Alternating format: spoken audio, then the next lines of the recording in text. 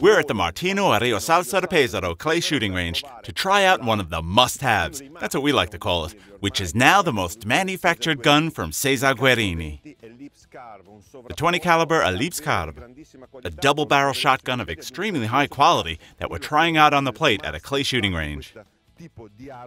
What is striking and remarkable about this weapon is the perfectly rounded shape of the receiver that adds a perfect elegance, as anyone can see, and in this case, the Wordsworth stock with a Prince of Wales style checkering. This classic configuration features a single trigger with barrel selector on the safety lever. Posto direttamente sul cursore della sicura.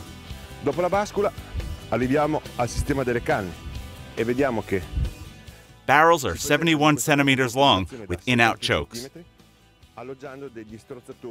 in-out. This case, we have the configuration which I think is absolutely the best for hunting and sporting, a three stars and a cylindrical. We're now going to assemble the shotgun. Assembly is perfect. The elegance of the weapon as a whole is indisputable. Simply beautiful, and of course, it's a eh. 20 caliber. è bellissima. Calibro 20 ovviamente. Il peso.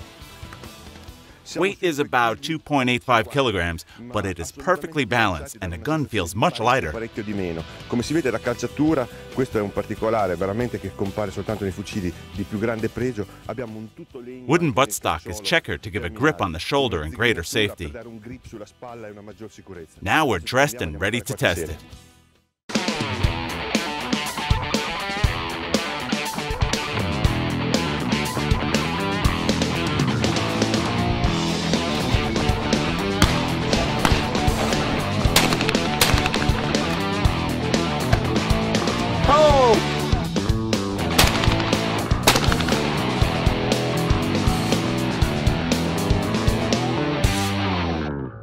Parlavamo quindi di sensazioni a caldo e le immediate, come abbiamo visto che ci vengono. This is an extremely steady shotgun, perfect for repeat shots.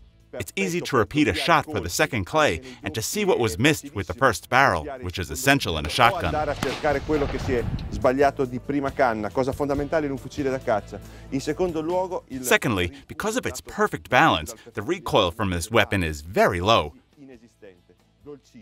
Which is fantastic in a shotgun, which is, moreover, designed with barrels capable of using steel shot as required by law in wetlands.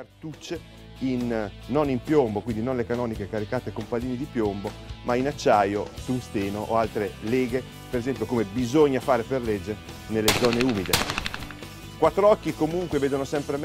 Two heads are better than one, so now let's give the gun to my colleague Fabio Antonelli, who will test it as well. L'arma al collega I like doing this because we are from two different generations of hunters. I prefer shotguns that are a bit heavier. Because he is a younger man who uses the most up to date shotguns, which are always much lighter, I want to know what Fabio thinks of this weapon that, in my humble opinion, it is something truly exceptional and extraordinary. Not only from an aesthetics perspective, but also from a technical point of view.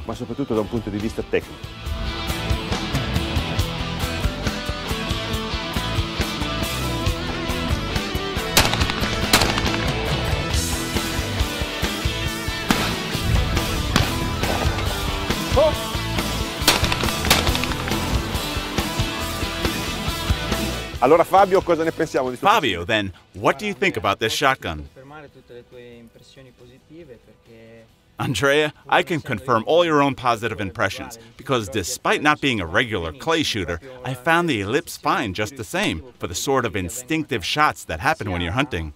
appunto eh, come It's just as practical for speed targeting as it is for repeat shots over a distance. And then for target shots, it really is an extraordinary shotgun.